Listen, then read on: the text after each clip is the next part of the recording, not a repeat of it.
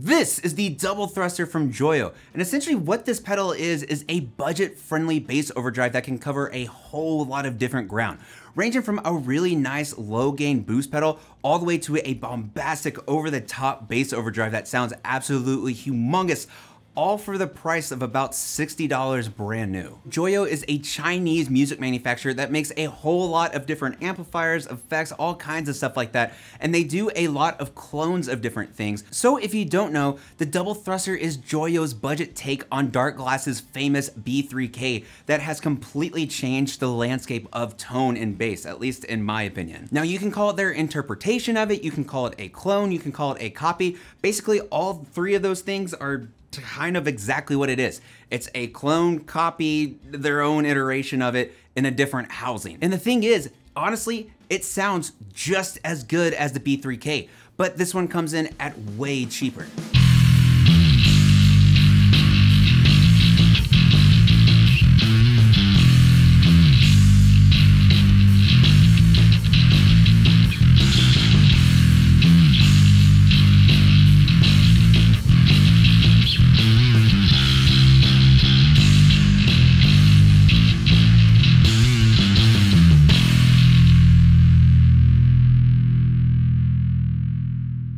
Now before we dig into the double thruster and for the sake of transparency, this video is sponsored by Joyo, but of course as with any other sponsored content on my channel, that has absolutely no effect on what I say, what I play, anything that goes on in this video at all or anything like that.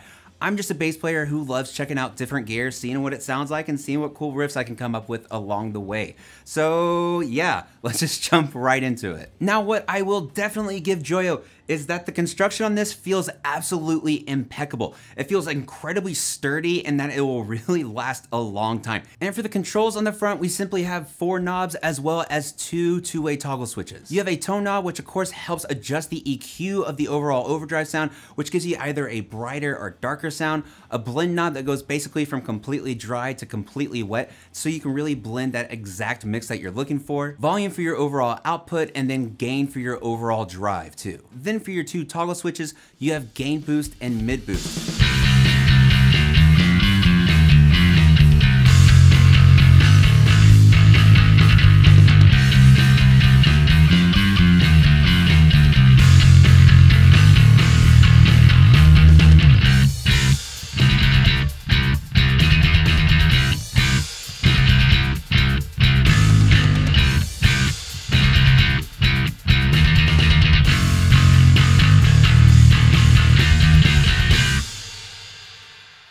Now for the pros on the double thruster, this is just a fantastic sounding bass overdrive. Again, what they set out to do was make their own version of the B3K, and it basically is the B3K, a fantastic modern overdrive pedal for bass that does just a phenomenal job at giving you a lot of different controls and different ways to sculpt your tone and make it all your own. And it's so much fun to play around with and sounds just as good as the B3K.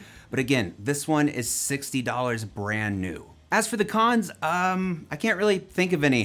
Just like the B3K pretty much, uh, it's a fantastic overdrive pedal that has a great modern sound. But of course, if you don't want that modern sound, uh, this isn't the pedal for you.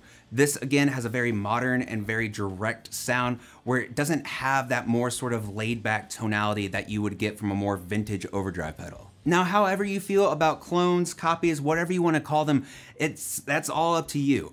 Me personally, I think this is just a great way to give more access to more bass players to what would otherwise be a more boutique pedal, but now it's just so much more easily accessible for anyone no matter what their income is.